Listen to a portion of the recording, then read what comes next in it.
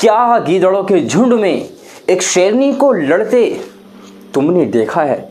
क्या भाड़े के टट्टुओं के बीच में एक हक की सदा आवाज़ लगाती शहजादी को तुमने देखा है? क्या झूठ, फरेब और धोखे के शोर में एक प्यार की अमन की सदा लगाती मुस्लिम बच्ची को तुमने देखा है? आइए मैं आपको दिखाता हूँ। हमने सीखा है अदाने शहर से ये उसूल। लोग ख्वाबिदा ही सही, हमने सदा देनी है। अल्फाजो मानी में तफावत नहीं, लेकिन मुल्ला की अज़ा और है, मुजाहिद की अज़ा और। परवाज़ है दोनों की उसी एक फ़ज़ा में। करगस का जहाँ और है, शाही का जहाँ और।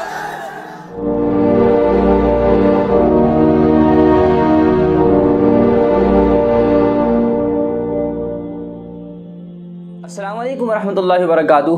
प्यारे नाजरीन, कैसे हैं आप सब? उम्मीद करता हूँ कि आप अच्छे होंगे इन मैं आपका मेज़बान मोहम्मद नाजिम अलीमी कासमी आज फिर एक अहम पैगाम के साथ में आपकी खिदमत में हाजिर हुआ हूँ।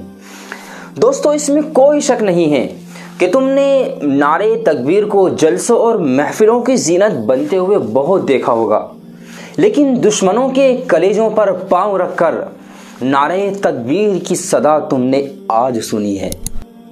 उस गैरतमंद ईमान इस्लाम, रूहानी फातिमा की बेटी, मोहम्मद की उस शहज़ादी, इस्लाम की उस शहज़ादी को, रानी को, महारानी को हज़ारों सलाम हो कि जिसने अजीब ईमानी गैरत हमीयत का सबूत पेश किया है। किस तरह दुश्मन के झुंड और दुश्मन के जुत्थे में नारे तकबीर को बुलंद किया है। यकीनन इस बच्ची ने ये बात साबित कर दी है कि जिन सीनों में ईमान होता है ना उन सीनों में बुजदिली पस्त हिम्मती, बेहिम्मती कभी जमा नहीं हो सकती है। जिन सीनों में ईमान होता है, उन सीनों में बुजदिली जैसी रजील और बुरी बातों के लिए कोई ठिकाना नहीं होता है। इंडिया के सूबा कर्नाटक की इस बच्ची ने अपने ईमान, अपने यकीन, अपने फौलादी जज्बे और अपनी और अपनी ईमानी इस्तिकामत का सबूत देकर अम्मी आयशा, खदीजा और दीगर सहाबियात रज़ी की यादें ताज़ा कर दी हैं। कुफर, जुल्म, शिरक और शैतानी ताकतों के सामने कल वो बच्ची अकेली डटी रही। कल बेखतर कूद पड़ा आतिश नमरूद में इश्क का अजीब मंजर था।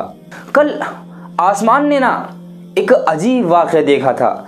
कल ज़मीन को फ़ख्र हुआ होगा कि उसने अपनी पुष्ट पर एक इस्लामी शहजादी को सवार किया था, जिसके सीने में एक ईमानी जज्बा था, एक ईमानी हौसला था।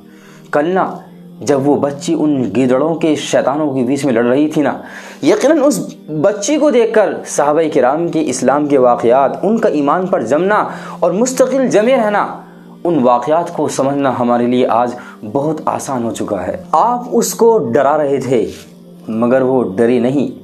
आप उसको पर्दा करने और पढ़ने से रोक रहे थे। दुनिया ने देखा, वो पर्दा करके आई भी और पढ़कर चली भी गई। आप उसका अपमान कर रहे थे। अरे, दुनिया आप पर थूक रही है। आप उसे सैकड़ों की तादाद में डराने की कोशिश कर रहे थे। अरे, जाओ, जाकर देखो, वो हज़ारों के लिए मिसाल बन चुकी है। ज़िंदा रहना है तो हालात से डरना कैसा? जब जंग लाजिम हो तो लश्कर नहीं देखे जाते। सलाम है उस बच्ची को कि जिसने अपनी गैरत व हमीयत का एक बेमिसाल सबूत पेश किया है। मैं ख़ुद अपनी जानब से और अपनी पूरी उम्मत मुस्लिमा की जानब से उस बच्ची को अप्रिशिएट करता हूँ, मुबारकबादी देता हूँ। आखिर में अजीज़ों, एक बात मुझे अब ये अर्ज़ करनी है कि मैं अपनी तमाम इस्लामी माओ और बहनों से ये बात कहना चाहूँगा। कि आप पर्दे को लाजिम पकड़ लें। हिजाब करना, पर्दा करना आपकी शनाख्त को छुपाता नहीं है, बल्कि ज़ाहिर करता है। हिजाब करना आपके ख़ानदानी होने का सबूत है। आपका पर्दे में रहना, ये आपके बाखलाक और बापर्दा और बाहया होने का सबूत है। इसलिए आप पर्दे को लाजिम करें। पर्दा करना गैरतमंदी का काम है। पर्दा करना ये इस्लाम से मोहब्बत का सबूत देता है। और आखिर में अजीज़ों आपसे गुजारिश ये है कि अगर आप इस चैनल पर नए हैं तो चैनल को सब्सक्राइब कर लीजिएगा और बेल आइकन को दबाना बिल्कुल मत भूलिएगा, ताकि मेरा हर पैगाम आप तक पहुँच सके।